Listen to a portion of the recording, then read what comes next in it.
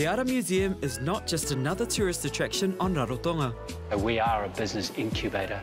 We're about sharing knowledge to develop local products. Our suppliers all come out of the community, from local farmers um, to arts and crafts to app providers, etc. So we're working with the community all the time. It's the brainchild of partners Stan Wolfgramm and Julie Smith, who, through their company Drum Productions, have produced film, television, and live events in New Zealand, including fashion show Style Pacifica.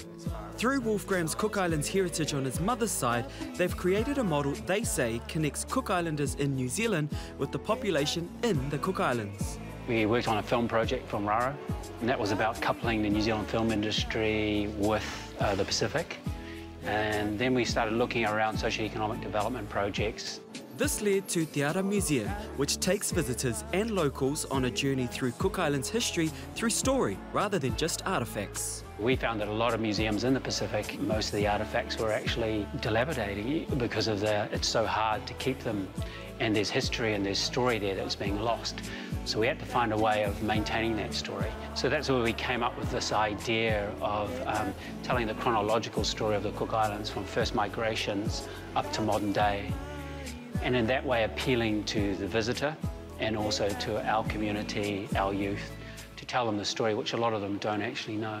Te Ara is also a hub for community initiatives with locals, including yoga classes during the week, to product launches and environmental issues. We're working in projects around um, conservation, plastics awareness, uh, plastic pollution in the ocean. So that's a big topic for us. We see a lot of plastic that um, tourists will bring into the island, and we feel as though that we can help around that awareness. Although the business has been in operation for just over a year, Te Ara almost didn't make it off the ground. I think the biggest learnings we've had for us, we had a major one around land. And I think the thing is you've got to realise that doing business in the Pacific is a lot different than doing business in a, you know, in a developed nation. Um, if you're not prepared to get off your ass and do it yourself, you're going to have a hard time. With the world of technology in constant change, Wolfgramm sees this is where the future of Te Ara is headed. We would like to become a data hub for the Pacific. We're a different museum. We're not so much into artefacts. We kind of see that as not sustainable. We see that data is where the future lies.